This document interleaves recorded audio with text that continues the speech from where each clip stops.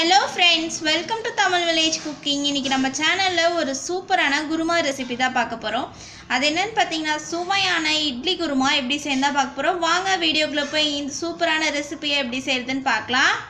சுவையான இட்லி குருமா செய்கிறதுக்கு தேவையான பொருட்கள் மூணு நல்லா கனிஞ்ச தக்காளியை எடுத்து நல்லா கொஞ்சம் சின்ன சின்னதாக கட் பண்ணி வச்சுருக்கேன். கொஞ்சம் கருவேப்பிலை கொஞ்சம் மல்லி இலை.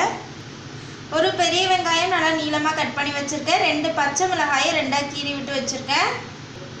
அரை டீஸ்பூன் கடுகு அரை டீஸ்பூன் கடலைப்பருப்பு அரை டீஸ்பூன் சோம்பு மூணு கிராம்பு ஒரு ஸ்பூன் கரம் மசாலா ஒரு ஸ்பூன் மல்லித்தூள் அரை டீஸ்பூன் மஞ்சள் தூள் ரெண்டரை டேபிள் ஸ்பூன் இட்லி மாவு உப்பு தேவையான அளவு எண்ணெய் தேவையான அளவு அவ்வளோதாங்க சுவையான இட்லி குருமா செய்கிறதுக்கு தேவையான பொருட்கள். இப்போ குருமா செய்கிறதுக்கு கடாய் அடுப்பில் வச்சு தேவையான அளவு ஆயில் சேர்த்துக்கிறேன்.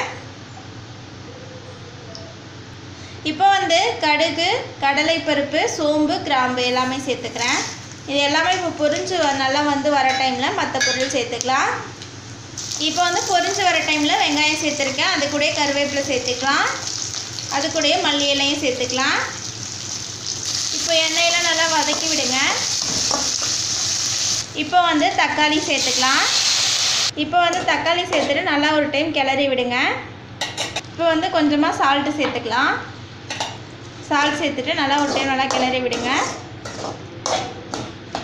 இப்போ வந்து தக்காளி நல்லா வெந்து நல்லா வந்து மசிஞ்சு மசாலா மாதிரி வந்துடும் அது வரைக்கும் ஒரு மூடி போட்டு மூடி வச்சிடலாம். அடுப்பு வந்து கொஞ்சம் சிம்மிலே வச்சுக்கோங்க. பாருங்கள் தக்காளி வந்து நல்லா வந்து வதங்கிடுச்சு. இப்போ வந்து நம்ம மசாலா சேர்த்துக்கலாம். இப்போ வந்து கரம் மசாலா மல்லித்தூள் மஞ்சத்தூள் எல்லாமே சேர்த்துக்கிறேன். இப்போ வந்து பச்சை மிளகாய் சேர்த்துக்கலாம். சேர்த்துட்டு இப்போ இது எல்லாத்தையுமே நல்லா மிக்ஸ் பண்ணி விடுங்க. இப்போ வந்து குருமாவுக்கு தேவையான அளவு தண்ணி சேர்த்துக்கலாம். இப்போ மசாலா சேர்த்து நல்லா கிளறி விட்டுட்டு இப்போ வந்து மாவு சேர்த்திக்கலாம். மாவு வந்து ரொம்ப சேர்த்திடக்கூடாது. இப்போ மாவு சேர்த்துட்டு நல்லா அந்த மாதிரி கிளறி விடுங்க. இல்லைன்னா வந்து கட்டி கட்டியாக ஆகிடும் இப்போ வந்து கொஞ்சமாக தண்ணி சேர்த்துக்கலாம்.